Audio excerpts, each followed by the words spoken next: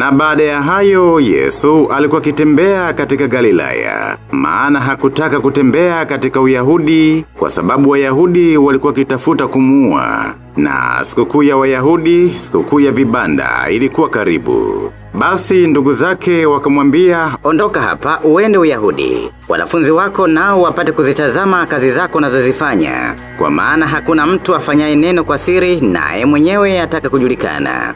Ukifanya mambo haya basi jidhihirishe kwa ulimwengu. Maana hata nduguze hawakumwamini basi Yesu akawaambia, haujafika bado wakati wangu, ila wakati wenu siku zote upo. Ulimwengu hauwezi kuwachukia ninyi, bali hunichukia mimi, kwa sababu mimi na ushuhudia ya kuwa kazi zake ni mbovu.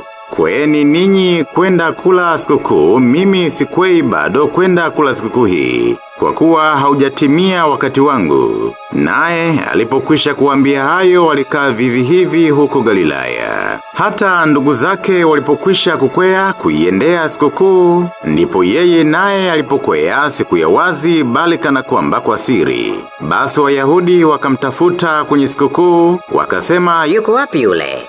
Kukawa na manunguniko mengi katika makutano juu yake, wengine wakasema ni mtu mwema. Na wengine wakasema Sivyo, bali anawadanganya makutano. Walakini hakuna mtu aliyemtaja waziwazi kwa sababu ya kuwaogopa Wayahudi. Hata ikawa katikati ya sikukuu Yesu alikwea kuingia hekaluni akafundisha, Wayahudi wakastaajabu wakisema, Amepataje huyu kujua elimu ambaye hakusoma?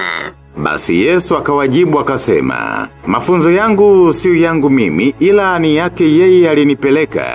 Mtu akipenda kuyatenda mapenzi yake atajua habari ya yale mafunzo kwamba yatoka kwa mungu, au kwamba mimi nanena kwa nafsi yangu tu. Yeye anenaye kwa nafsi yake tu hutafuta utukufu wake mwenyewe, bali yeye anayetafuta utukufu wake aliyempeleka huyo ni wakweli, wala ndani yake hamna udhalimu. Je, Musa hakuwapa torati, wala hakuna moja wenu aitendaye torati, mbona mnatafuta kuniua? Mkutano akajibu, Ama, una pepo. Ni nani anayetafuta kukua? Yesu akajibu akawaambia, mimi nalitenda kazi moja nanyi nyote mnaistajabia. Musa aliwapa tohara lakini si kwamba yatoka kwa Musa, bali kwa mababa, nanyi siku ya sabato humtairi mtu. Basi kiwa mtu hupashwa tohara siku ya sabato, ili torati ya Musa isije kavunjika. Mbona mnanikasirikia mimi kwa sababu nalifanya mtu kuwa mzima kabisa siku ya sabato? Basi msihukumu hukumu ya macho tu, bali ifanyeni hukumu iliyo ya haki.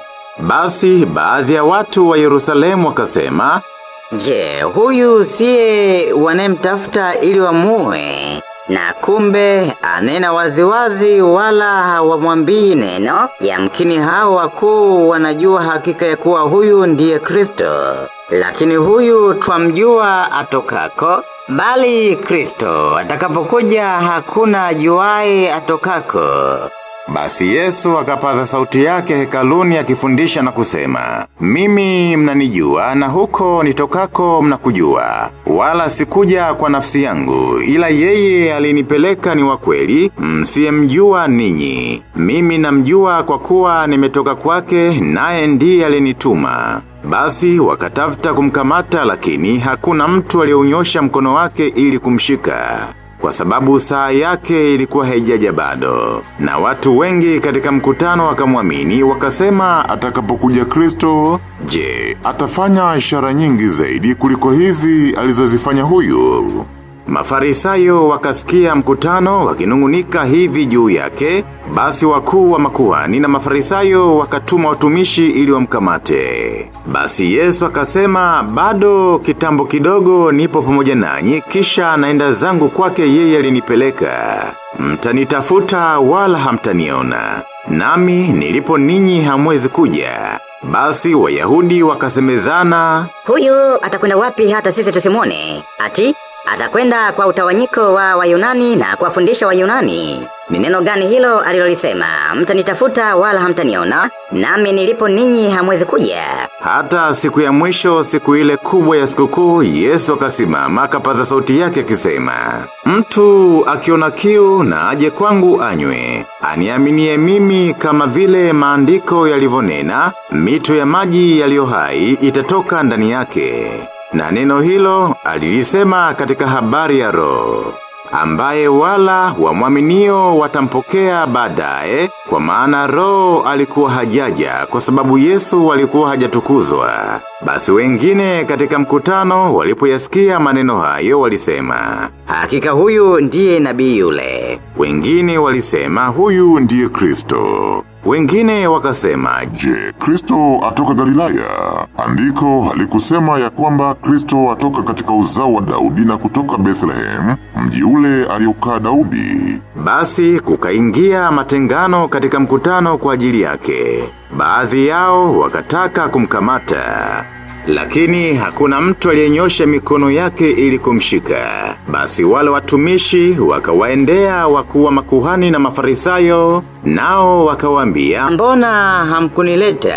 wale watumishi wakajibu, Hajanena kamwe mtu yeyote kama huyu anavyonena. basi mafarisayo wakawajibu, Je, ninyi nani mmedanganyika? Ni nani katika wakuu amwaminie au katika mafarisayo?